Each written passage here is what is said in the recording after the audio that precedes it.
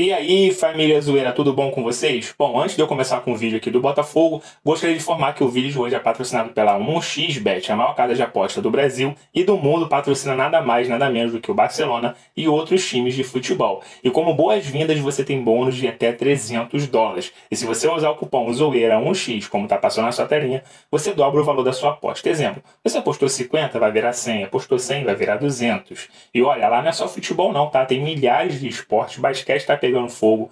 E ó, tem cassino para você se divertir. Então não perca tempo, a plataforma é simples de navegar, segura e eles pagam tudo via Pix rápido para vocês, tá? Vou deixar alguns jogos aqui do futebol feminino de hoje para você já sair fazendo uma graninha aí se você entender um pouquinho de futebol e der uma sorte você vai fazer uma boa grana. Hoje tem aí, ó, vamos ver. É o Bahia e Corinthians, Real Ariquemes versus Santos, Atlético, Palmeiras, Grêmio São Paulo, Real Brasília versus o Cruzeiro, Flamengo e Internacional. Então não perca tempo, vá lá na 1xBet. Dito isso tudo, agora sim, vamos para o vídeo de hoje. Caiu no tapetinho! Já era! A frase do novo hit da torcida embala o Botafogo. Caiu nas graças do Luiz Castro também? Já ouvi sim, é bonita. E o time continua 100% de aproveitamento no gramado sintético do Newton Santos. Venceu os seis jogos em casa no Brasileirão. A vitória contra o Fortaleza teve a assinatura do Tiquinho Soares. O artilheiro do campeonato fez os dois gols. O segundo com um tiquinho de sorte.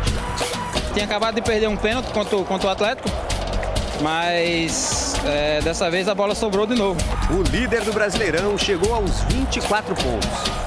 Não consigo fazer um balanço do campeonato de forma tão precoce. Sei que tenho uma equipa que quer muito ganhar e isso é o que mais me interessa. Agora o Brasileirão dá um tempo por causa da data FIFA. O próximo jogo do Botafogo é só no dia 22 contra o Cuiabá. E depois da vitória contra o Fortaleza, o time ganhou quatro dias de folga. Eu vou a Portugal, já lá não vão uns meses largos.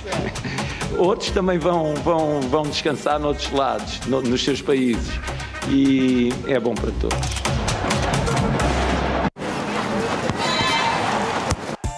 Quatro times garantiram uma vaga na Série A do Brasileirão do ano que vem. O Botafogo passou por cima do 3B do Amazonas. 7 a 1 que passeio, hein? Três gols da Kellen. Na semifinal vai pegar o Fluminense, que ganhou nos pênaltis do JC, também do Amazonas. A outra semi da Série A2 do Brasileirão vai ser entre América Mineiro e Bragantino.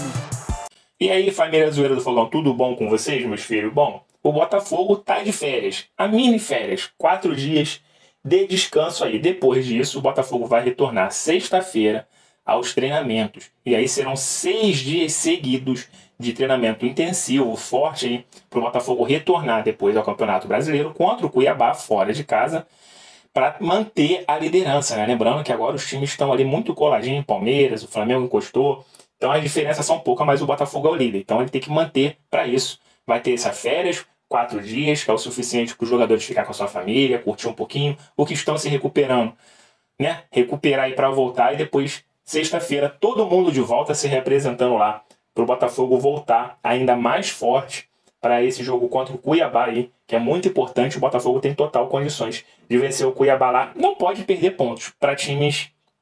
Cuiabá está no meio de tabela, mas não importa, né? Botafogo é o líder do campeonato. Botafogo aí, seis jogos em casa, seis vitórias no Campeonato Brasileiro. Tem apenas um empate aí, se não me engano, apenas com a LDU pela Sul-Americana.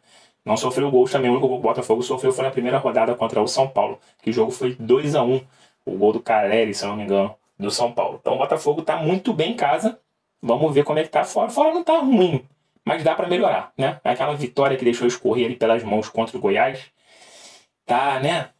Acontece, né? O Fluminense também empatou ontem lá. O Fluminense venceu por 1 a 0 depois por 2 a 1 e no final tomou um gol do Goiás, também perdeu ponto pro Goiás aí, mas o Botafogo não pode perder pontos para esses times que estão ali, né? Que sabe que não vai brigar por muita coisa no campeonato.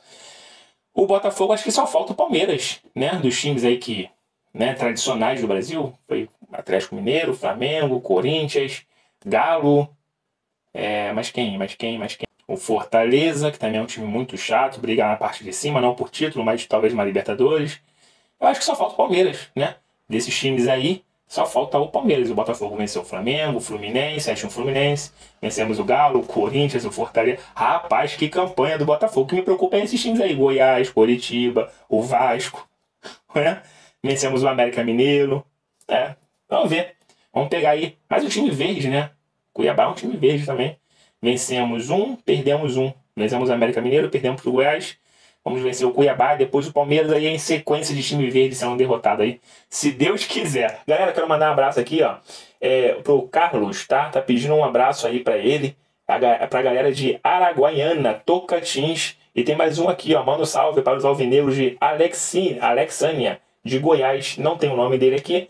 Mas para vocês aí de Alex, Alexânia, Goiás e para Araguaiana, Tocantins, o Carlos pediu um abraço para vocês, obrigado pela audiência e dá uma moral aqui o canal, pô. Você é novo, né? Não, não, é novo, já tá vendo os vídeos, mas não se inscreveu. Tá vacilando pra caramba, igual o Rafael. Tá? Seja um o Rafael, não vacile. Rafael, todo jogo, tomando um cartãozinho amarelo no primeiro tempo, hein? Ó, a casa de apostas aí, não tô querendo dizer nada, só foi um, né, um diabinho que falou aqui no meu ouvido. Não, tá? Enfim, tá estranho esse negócio aí, Tiquinho Soares. Os goleiros estão de olho em você. Você é o artilheiro do Campeonato Brasileiro bater pênalti um pouco diferente, começar a mudar, bater mais pro direito, na parte de baixo, no meio do gol, ficar batendo ali pro lado esquerdo, meia altura, os goleiros estão indo lá, tem que treinar um pouco mais sobre isso aí. Nem sempre a bola vai voltar ali para você de graça, como aconteceu nesse último jogo. Então vamos treinar. Bom, galera, vou ficando por aqui. Qualquer notícia importante do Botafogo, eu volto para falar com vocês. Fiquem todos bem, fiquem com Deus, até a próxima. Fui!